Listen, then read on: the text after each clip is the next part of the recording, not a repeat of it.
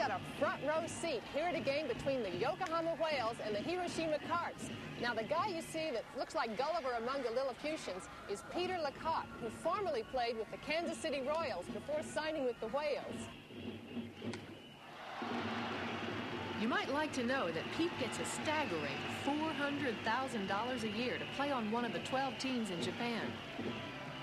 Know, I'm married. I've got two kids now, and I played baseball in the States for 12 years. And uh, you've got to you've got to realize that uh, there's good money here in Japan, and uh, I took advantage of it. It's definitely a different game over here. Here in Japan, I really believe that they cater more to the pitching. There's a wider plate, a much wider strike zone.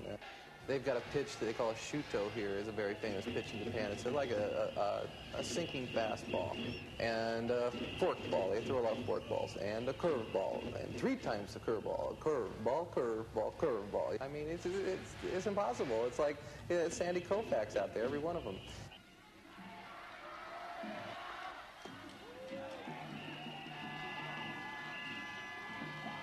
Got to realize the umpires here are very different.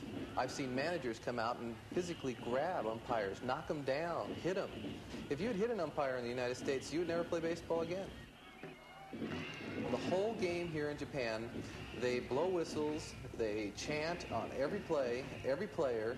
Uh, they have big flags that they wave, individual flags of each team, and they have their own cheering sections, and they have streamers they throw all the time. You know, when something happens good, they throw a bunch of streamers on the field. They go out there and try to please the fans.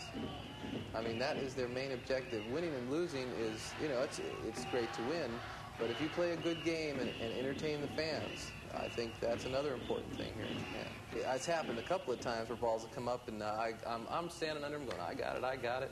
And then this guy is yelling something and I don't know what it is. And I move out of the way and he, he, he said he was calling me. I said, you know, I tried to tell him, either say my name, you know, or, or you know, let me know.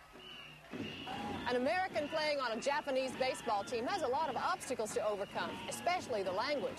But in any language, there's still only one thing you have to know, and that's how to play ball. This is Alana Davis at the Yokohama Stadium watching Japanese baseball because you asked for it.